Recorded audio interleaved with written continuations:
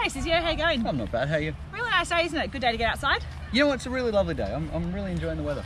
Weather is beautiful. We have a pretty mild winter here, isn't it? It, in, uh, quite, yeah, it is quite warm. Yeah, quite nice. quite a nice climate, you could say. It is a nice climate. Would you call it like a, it's a temperate climate? I would say it is a temperate climate. How could we graph that? How could we show Is climate? there is there a way to graph climate? I think it's time we introduce the Geo Squad to the skill of climate graphs. Climate graphs? Tell me Yeah. more. So climate graphs are a great way of combining both temperature and precipitation, two skills in one graph. So both of those things, then you can put them on the same Yeah, graph. It's incredible. That's Great way to. Show the climate of an area.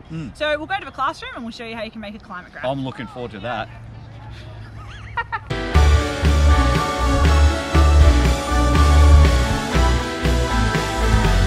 Okay, so now we're back inside and we have a climate graph. So what is a climate graph? A climate graph is a graph that shows the climate. I know. So what are the two most important things about a climate? The temperature and the precipitation. How much it rains or snows or whatever. So up the top, first thing, well actually, tell you what. First thing, on the left hand side, we have rainfall in millimeters. On the right hand side, we have temperature in degrees Celsius. On the bottom, we have our months of the year. They're our three most important points. The first thing to notice, it isn't always like this. Sometimes the rainfall is over here and the temperature is over here. It usually is temperature right, rainfall left, but just make sure you double check just in case. Now, each month you will have essentially an indication of what the average temperature is. That's the average maximum daily temperature for that month, and the total monthly rainfall at the bottom. Uh, you will also have at the very top of the graph uh, an indication of where in the world this climate graph is from because all around the world will have a different climate graph, especially with different climates. So you can see here, for example, in Sydney, the rainiest time of year is between March to June there. Uh, we're getting just a bit over 120 millimeters a month. And at the same time, we have in January, we have an average temperature here of about 22, 23 degrees, dropping down in July to about an average of about 13 degrees. Um, this is this type of climate graph very indicative of a temperate area. Um, we have not no real wet season or dry season, and we have quite a big temperature range. That is the difference between the hottest month and the coldest month. So if we were to go to a tropical area, like uh, Manaus in Brazil, I think that's how you say, middle of the Amazon rainforest here. Now you see this is totally different. Again, rainfall on the left, temperature on the right. You'll see two big differences here. The first is half of the year is getting heaps of rain. Right? Our January, February, March, April, and December as well. Six months of the year, lots and lots of rain. We're up towards 300 millimeters a, a month here. Uh, the temperature, however, you'll remember in Sydney how it dropped down into the middle of the year when they had winter. There is no real winter in, a, in a tropical area, so the temperature stays almost uniform. This is why tropical areas don't have winter, summer, spring, autumn. They just have wet season or dry season. That's basically how you read a climate graph. So let's have a look exactly how they're used skill-wise. Thanks, Cizzio. So we're going to show you now how to actually make a climate graph, which you can get asked to do. And what we're going to do first is look at our precipitation. So we've got a table up here, and you can see down the bottom we've got our precipitation in millimetres for January through to December. So when we do this, we always do blue and we make a bar graph. So we're going to start down here with January. And as you can see, in January, they get 120 millimetres average precipitation. And precipitation for this graph, opposite to the last, is actually on the right hand side. So we're going to create a bar graph. 120 is just here. So we're going to create a bar graph that fills in that section in blue. And now I'm just going to keep going and do the rest of the months.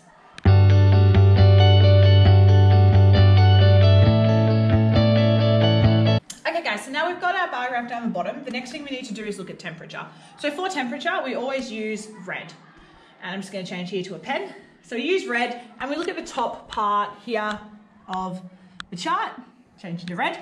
Um, so for this one, we need to make a line graph. So I'm going to show you first of all for January. January was 28 degrees as the max temperature. So if we come over to the left-hand side this time, temperature degrees Celsius, we need to find 28, which is this one here. And really, really important when you draw this dot, you always draw it in the middle of the square.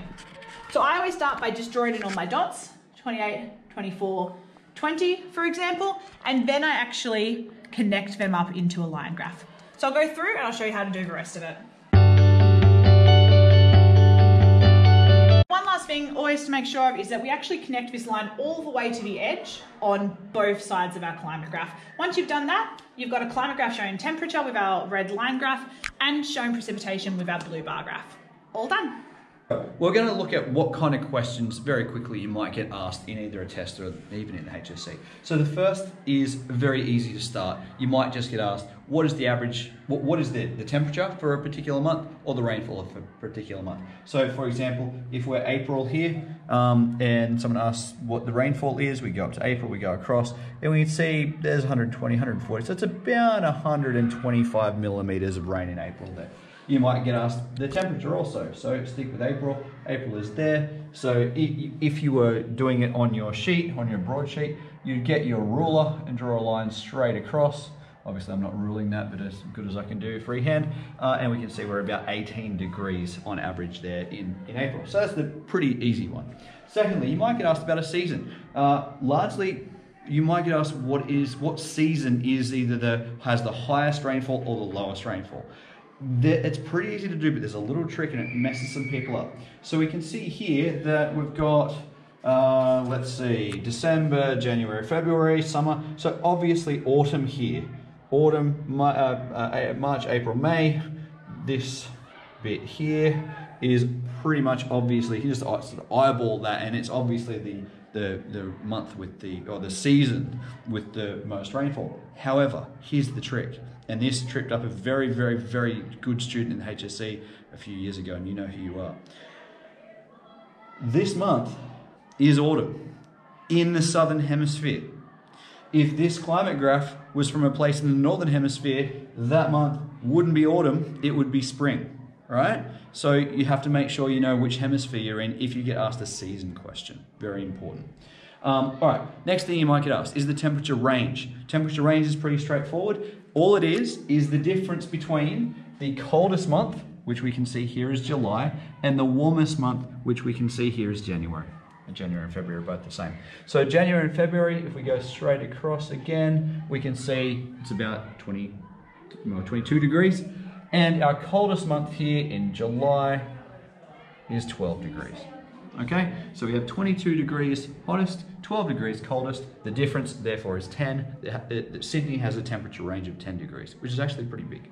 All right, uh, next thing, you might just get asked for totals, which is a simple addition. So you might get asked, what is the total rainfall for the year? It's a little bit tedious, but then you just have to add up the total rainfalls of each of the, of the months of the year. A little bit time consuming to do, but easy enough. Again, you might get asked just what is the uh, total rainfall for a particular season.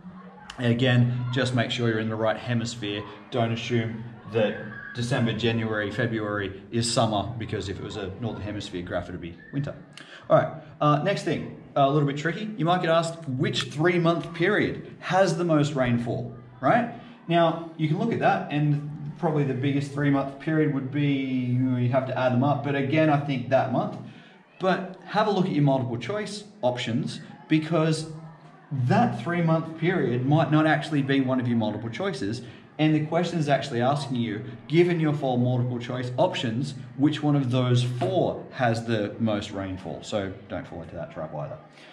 Lastly, interpretation. So you might just get asked to look at the broad, uh, look at your climate graph in general and make some assumptions about what kind of biome or what kind of environment that this graph is likely to show. We talked about how Sydney is a very temperate area, uh, and temperate areas will have pretty stable rainfall across the year with a large temperature range. Um, as I showed you before, a tropical area will have a very big rainfall range, have a wet season and a dry season, and a very stable temperature.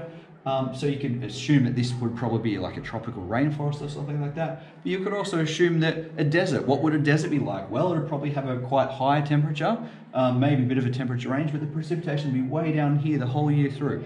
So you look at the, the, the rainfall and the temperature combined and you can kind of get a feel for what kind of biome is actually being represented by that climate graph. Well, thanks so much, Samantha. That was so informative and interesting. Isn't it amazing you can fit so much information about a place on one graph? I'm just blown away that you can put temperature and precipitation on the same graph and it still works. I know, you really get a feel for what the climate's like. Like, mm. I felt like I was in Brazil. Mm, slightly less fires, though.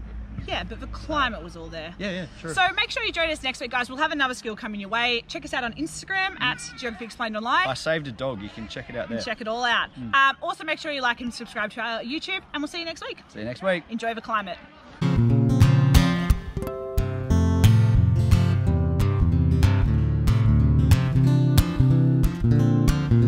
Episode, episode 11. Episode 11. You have not made the bloopers. I'm sad now. You haven't, you haven't made a single mistake. what do you mean by temperate winter. climate? What? Oh, damn it. Oh, I thought we were going to go, what's that mean? And you were going to go, Like can subscribe to our YouTube. See you later next. See you later next week. What? look forward to it. All right, let's keep going. Okay, yes. you don't walk with me. Or? No, no.